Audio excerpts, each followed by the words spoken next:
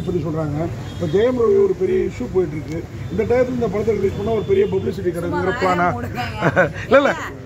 இதுக்கும் அதுக்கும் என்ன சம்பந்தம்? இல்லை ஒரு லுக்கு அந்த லுக்கு இருக்காருன்னு எல்லாருமே சொல்கிறாங்கல்ல ஓகே அதுக்கும் ஜெயம் ரவி பிரச்சனைக்கும் என்ன சம்பந்தம் இருக்கு? நம்ம படத்துக்கு பப்ளிசிட்டியாக பண்ணிப்போன்னு தான் கேட்குறேன் நான்.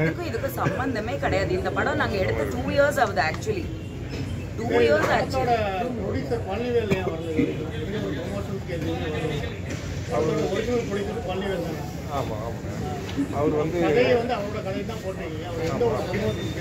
சரிங்க நான் இந்த படத்துல என்னங்க நடிச்சிருக்கிறேன்? ஒண்ணுமே நடிக்கிறேன் நான் நிக்கிறேன். இல்ல நான் நிக்கிறேன். ஹீரோயின் இல்ல. சம்டைம்ஸ் சினிமாங்கிறது வந்து இல்ல அந்த சந்தர்ப்பம் சூழ்நிலை தான். மாறிடுச்சு கை மாறிடுச்சு. இந்த ஃபைட்டு காட்சியெல்லாம் ரொம்ப ரிஸ்க் எடுத்து நடிச்சீங்களா? அதை பற்றி சொல்லுங்கள் நல்லா நல்லா இருக்கு. நமக்கு இது கிடைக்கிற ஒரே ஒரு வாய்ப்பு. இதில் நம்மளால என்ன பண்ண முடியுமோ எதை காமிக்க முடியுமோ அல்டிமேட்டாக அதெல்லாம் பண்ணிட்டேன். வேற ஒன்றும் கிடையாது. நீங்க ஒரு ஹீரோ மெட்டீரியல் சரிங்களா? உங்ககிட்ட வந்து ஒரு ஏஜ்டான ஒரு கதை சொல்றாங்க. அப்பா கேரக்டர் அம்மா இருக்காங்க குழந்தை பெரிய குழந்தை அப்படி சொல்லும்போது என்ன சொல்லுங்க ஏன்னா நீங்க ஹீரோ மெட்டீரியல் பார்த்தோன்னே ஸ்க்ரீன்ல அப்படிதான் இருக்கீங்க. அப்படி அப்படி எடுத்தும் ஏன் வந்து இந்த மாதிரி ஃபேமிலி செப்டிக்கா போறீங்க? ஒரு லவ் நமக்கு வாய்ப்பு கிடைக்கிறதே பெரிய விஷயம்.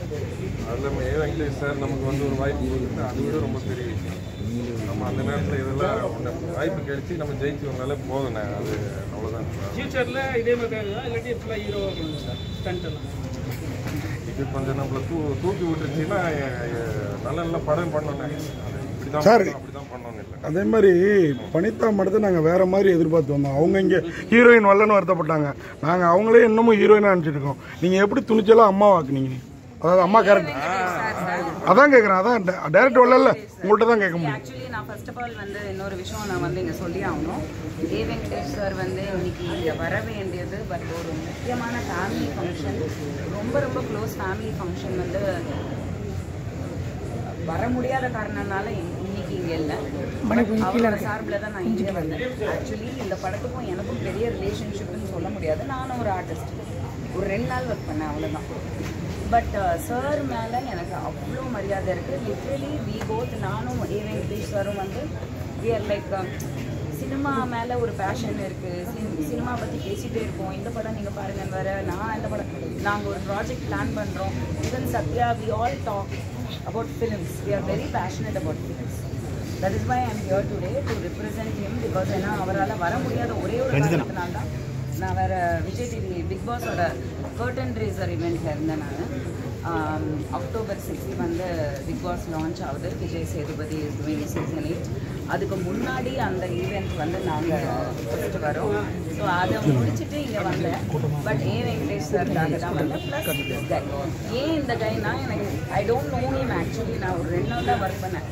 ஆனால் ஒரு ப்ரொடியூசரோட வரி என்னங்கிறது எனக்கு சத்தியமாக தெரியும் ஒரு ஆர்டிஸ்டாக இருந்து இப்போ யாரோ கேட்டாங்க ப்ரொடியூசர் பற்றி சுச்சுவேஷன் சர்க்கம்ஸ்டான்சஸ் தான். படம் ரிலீஸ் ஆகும் மேடம். இருக்காங்க யார் இல்லைங்கிறது முக்கியம் கிடையாது. படம் ரிலீஸ் ஆகும் நல்ல படங்க. எனக்கு எனக்கு பார்த்த வரைக்கும் நிஜமாக சொல்கிறேன் நான் ஒரு ஆர்டிஸ்டாக தான் பேசுகிறேங்க எனக்கு ஏ வெங்கடேஷ் சார் வந்து ரொம்ப ரொம்ப பிடிக்கும் ஒரு டேரக்டராக இன்னைக்கு ட்ரெண்டில் ஒரு டைரக்டர் என்ன எடுப்பாரோ அந்த விஷுவல் வந்து அவர் கொடுத்துருக்காரு. அது அது எனக்கு ரொம்ப பிரம்மாண்டமாக இருந்தது. But but as a hero வந்து நின்று ஒரு படத்தை ரிலீஸ் பண்ணுறதுங்கிறது வந்து பெரிய விஷயம் பணமும் செலவு பண்ணி அந்த எஃபர்ட் போடுறதே வந்து ஒரு மிகப்பெரிய விஷயம். And I think is acted very well actually நல்ல ஒரு ஹீரோ மெட்டீரியல் நல்ல சப்ஜெக்ட்ஸ் தேர்ந்தெடுத்து பண்ணால் கண்டிப்பாக ஜெயிப்பார் விஜய் சத்யா சார் விஜய் சத்யா சார் அதே மாதிரி இந்த படத்தில் அம்ரீஷுக்கு அவ்வளோ பெரிய ரோல் கொடுத்துருக்கீங்க. அதுவும் நித்யானந்த கேரக்டர் அவரு ஏன் வரல டேரக்டர் வரல ஓகே அந்த பாட்டு அதுதான் படத்தில் பெரிய ஹைலைட்டு அவனுக்கு ஃபோனை போட தயவு செஞ்சு. ஏன் வரல மகாபிரபுக்கு வெங்கடேஷ்க்கு வந்து அவங்க காரணம் சொல்லிட்டாங்க. அம்ரீஷ் வந்தார். நான் ஒரு அருமையான பாட்டை கொடுத்துருக்கிறாரு. திருப்பி நீங்களே அதனால தான் கிளைமாக்ஸ் முடிஞ்ச பிறகு அந்த பாட்டை ப்ரொமோஷன் பண்ணிருக்கீங்க ஏன் வரல எங்களோட வாழ்த்துக்களை சொல்லுங்கள் அவருக்கு. நல்லா இருக்கு.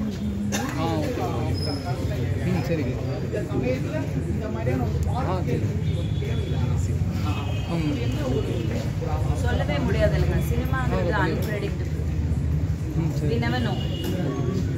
பெரிய படம்லாம் ஜெயிச்சிருச்சா? சொல்லுங்க.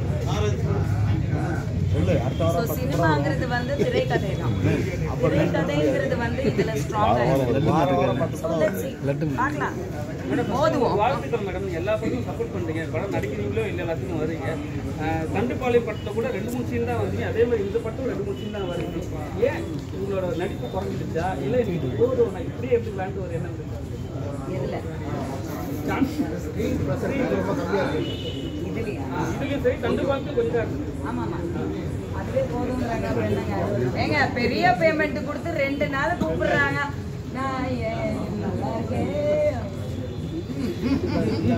சார் ஹீரோ சார் அது மாதிரி உங்களை சப்போர்ட் பண்ணுறதுக்கு மேடம் இங்கே வந்திருக்காங்க. நீங்கள் தேட்டர் விசிட் போகிறப்போ மேடத்தெல்லாம் கூப்பிட்டு போவீங்களா? என்ன? வினிதா மேடத்தை ஏன்னா இவ்வளோ அளவுக்கு சப்போர்ட் பண்ணி டேரக்டர் வரல மியூசிக் டேரக்டர் ஏதோ காரணம் இருக்குது ஓகே ஆனால் அதாவது அவங்களுக்கு முடியலங்கிற ஒரு காரணம். ஆனால் இவங்க இவ்வளோ தூரம் வந்திருக்கிறாங்க. அவங்களும் ஒரு பிஸியான ஆர்டிஸ்ட்டு கண்டிப்பாக கூப்பிட்டு போகிறீங்க தேட்டர் ரவுண்ட்ஸ்லாம் போகிற ஐடியா இருக்கா? சரி ஃபைனலாக திருப்பதி லட்டு இஷ்யூவில் உங்கள் கருத்து என்ன? உங்கள் ரெண்டு பேரோட கருத்தை சொல்லுங்கள்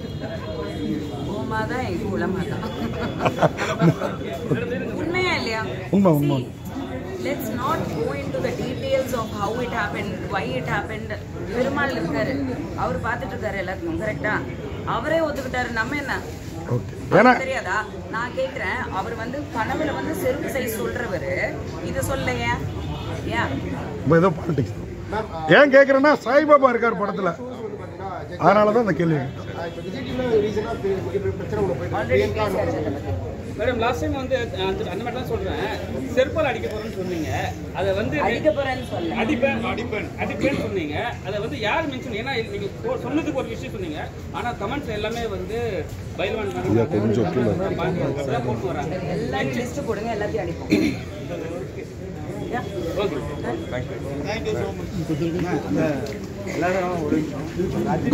சப்போர்ட் பண்ணுங்க.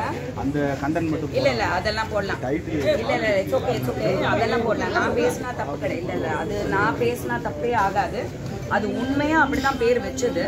அதை மாத்தியாச்சு